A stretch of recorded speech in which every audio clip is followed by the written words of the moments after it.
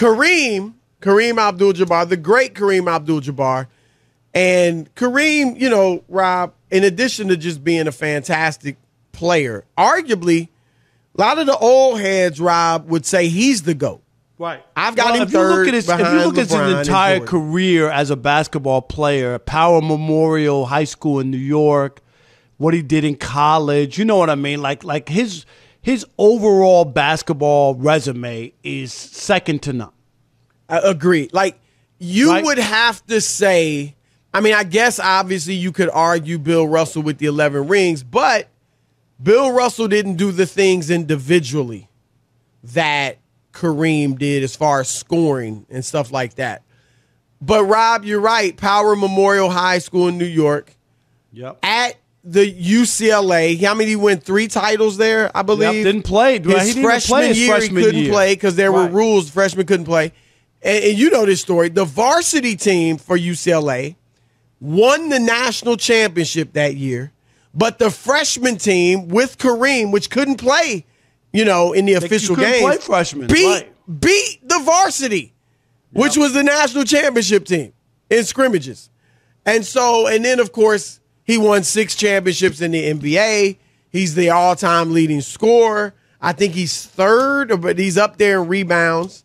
Uh, he's won six MVPs, which is the most ever. I mean, he accomplished. You often say it about Tom Brady, Right. Most accomplished quarterback. Kareem, eh, I- Without don't know question. more, more accomplished Without yet question. As a basketball. I don't know player. anything And about Rob, Michael Jordan's high school career, right? He almost did. He got cut from the team at one close point. to Kareem's, yeah. Right. And then Wasn't in college, Michael won a championship with North Carolina, right? freshman. And had a big and he shot. wasn't the star of that team. no. I mean, he had the big James shot. Worthy. Right. Sam Perkins, absolutely. And then the years he was the best player in the country, they didn't win the championship. Right. And so, uh, yeah. But anyway, that's why, as a quick aside, Rob, remember it was a joke. Remember a few years, might have been during the pandemic, but it was within the last couple years, they did, I think it was E ESPN did a poll, like the best college players ever. Right. And I think Michael Jordan won it. And uh, look, we both think he's the GOAT. He ain't the greatest college But, basketball there's player. No Stop way it. He, he would be. You'd say he's the greatest college player. So yeah, it was crazy.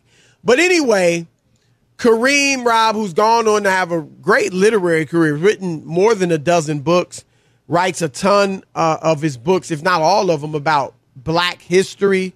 Uh, he writes columns in various magazines. Oh yeah, and, I've and read a number of his columns. He he's well thought out, Chris. He's He a, is. a, a, a, a thoughtful writer. Yeah. like like Yep. really puts in his. Uh, uh, He's a smart man, uh, but he wrote a column for Substack, and he talked about LeBron.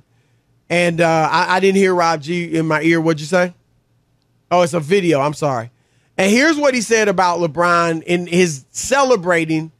We do have sound. Okay, so here here he goes about LeBron's celebration. Last week, LeBron was fined $15,000 for doing a big ball stance after the Lakers win over the Pistons. The NBA has been fining players between $15,000 and $25,000 for doing this dance since the 2010-2011 season.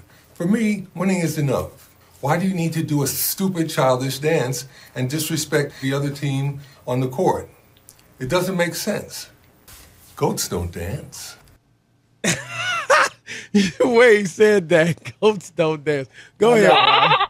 I, yeah, I, I that was cr- trash Kareem- talk from Kareem. That was right? On that was trash very talking good. Tuesday. Yeah. Uh, yeah, I mean, and he did bring it up, Chris, the dance. So it was a part of it. Right. It wasn't just was talking about the It wasn't balls, just the right. dance. It was about that. That you know, like what what are you doing?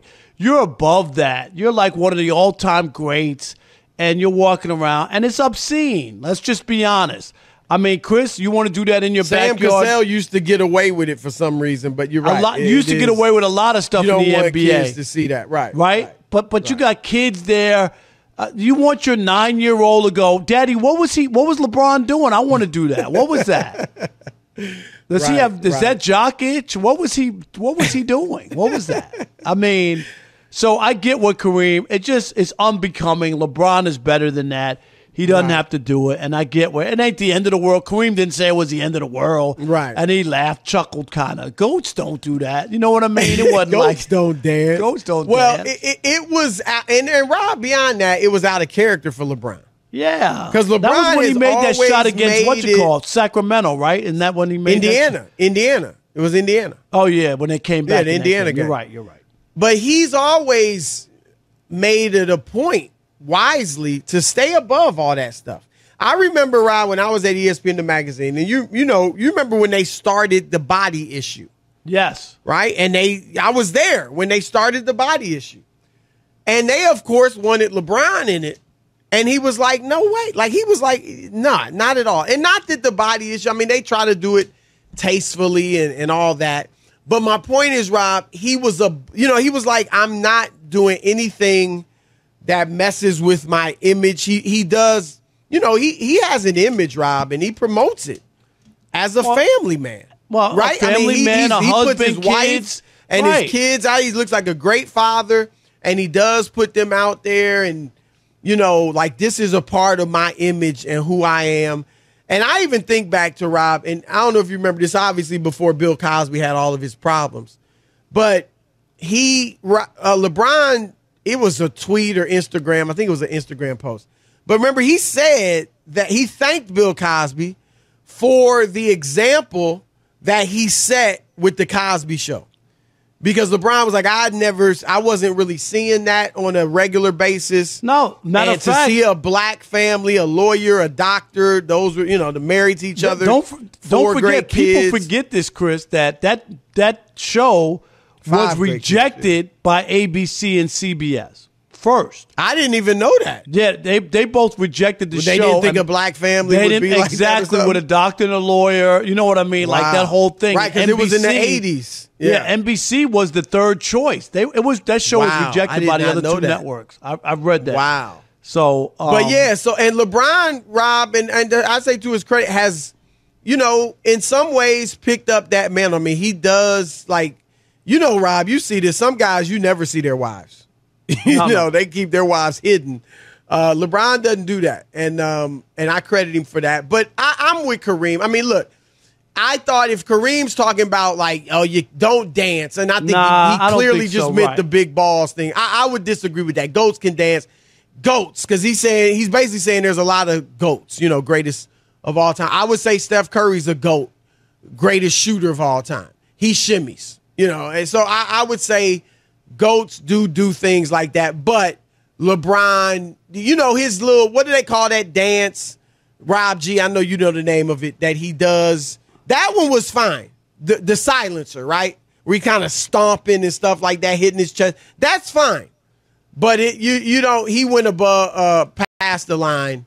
Yeah, with- with, LeBron you know, is better than and that. LeBron, stuff. LeBron Right. is better than that. He has an image. He had the, the Space Jams, even though it was a flop. You know, kids movie. Was it though? Right, right. Rob I mean, G, I, am wasn't I'm a a grown flop? man. I didn't go see Space Jam. Was it a flop? Rob G? Was it a flop? Yes. I don't think it was a flop. I don't think so. what are you talking think- about? You don't think so? Why? uh, Why you say flop? It I don't didn't think it do was a flop. well. I'm looking. I I'm look. I'm I don't googling know. it right gotta now. check. Space Jam 2 a flop. Well, it came out in the middle of a pandemic when it was on a streaming service for most of the time before it was in Right, theaters. right. So no movies I gotta. were going to I do that do well. want to watch it. Did you see it, Rob G? I did. was Here it, is. good? It's a kids movie. I mean, it's. I it know, was- but for you know, for a kid, it was it was not the best kids movie I've seen, but I, I you know. Did you see the original Space Jam? Yeah, yeah. Well, I was How'd a kid when I saw that? that one, so I obviously I like that one better. So Right. All right, know, but, but you know it said here it is. I'm, I just googled it. Why Space Jam 2's box office is is so disappointing, and then the other headline is Space Jam had 70 percent drop in ticket sales. That's usually a sign, Chris, like when it opens up and people are anticipating. Oh, you, so and what? then- from the first week yeah, to the second and then they week, tell it, yeah, and then they tell their friend, "Don't go see it." well, no I one mean, was that- going to the movies during that time, Rob. That's why HBO Max had to, had to pay to have it on their Right. platform. I'm gonna say this because I heard Rob. I heard the same things about Uncle Drew, Kyrie Irving's movie, and I didn't go see it in the theaters. And I happened to be watching one night, flicking channels, and it was on. So I, I didn't see sit down and see the whole thing, but I caught enough of it, and it was good. I mean, for what I didn't expect you probably know, saw five Gladiator. minutes, right? No, no, no. I saw like you know a good, a good enough to where I got the gist of it. And honestly, I want to watch the whole thing when I get a chance. It was good. I mean, for what it was, and I bet you Space Jam Two was the same way.